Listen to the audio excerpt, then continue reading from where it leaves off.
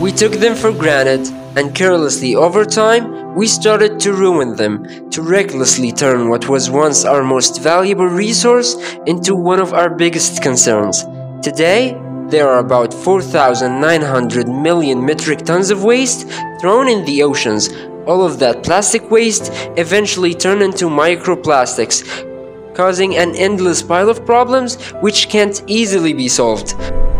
But the problem that can't easily be solved is a problem that is yet to encounter us. So, after hours of research, we found that the best solution is creating a simple but yet a unique filter, having an efficiency of 95%, which is going to be made by the people affected most by the problem, the fishermen, as we will teach them how to manufacture it, attach it to the ships or filtering areas, and finally, market the filter to sell it.